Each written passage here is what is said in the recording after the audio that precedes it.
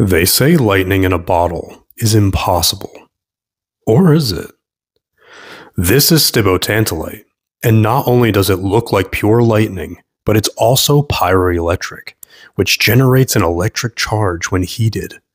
Its crystal structure is asymmetrical, so when the temperature changes, the mineral expands, creating sections of positive and negative charges that come closer together.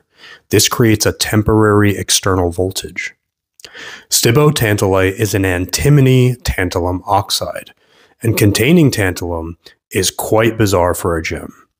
Tantalum is an incredibly dense metal, almost as heavy as tungsten, making this a heavyweight gem.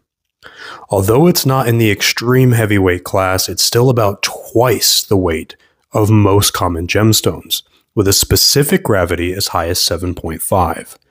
For context, that's a little over double as heavy as a diamond at the same size, which has a specific gravity of about 3.5.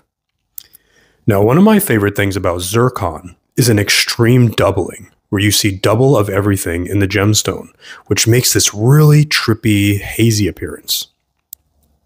Stibiotantalite also has this very strong doubling effect, Add that with the rich neon yellows, and it literally looks like lightning in the clouds. But finding gem quality specimens is very, very rare.